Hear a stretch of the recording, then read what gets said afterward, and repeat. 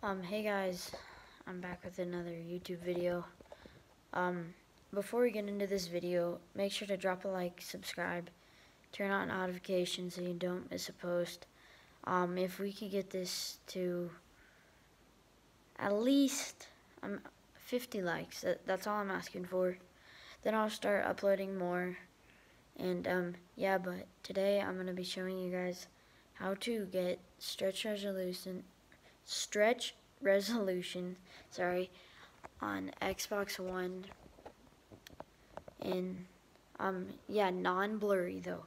So there's recently been a new update where they like messed up our Xbox thing. I don't really like it, but um basically you're going to go to settings, go to TV and display options go over to video fidelity and overscan whatever that says. Um, go to your display click on overrides go to HDMI and you can change it back whenever you want. Um, screen will go black.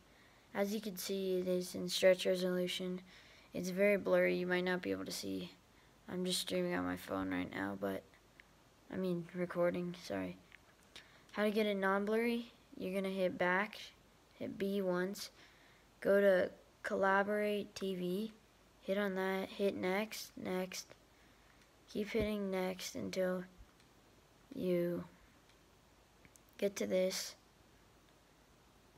and then resolution, go to 640 times um, 480 click on that and now it is less blurry. I don't know if you can see but I'm currently in stretched resolution and it's not really blurry. Um, if you guys want to see more videos like this make sure to like and subscribe. And um, see you guys next time. Thanks for watching